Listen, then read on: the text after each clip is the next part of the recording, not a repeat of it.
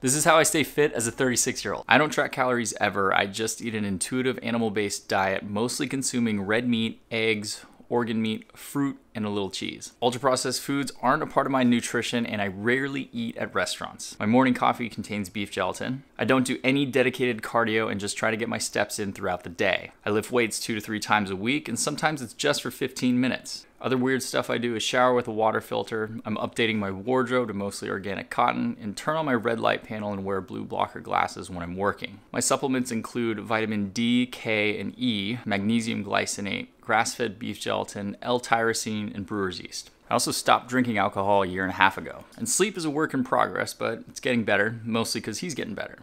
And give me a follow if you want to get fit and healthy as you get older.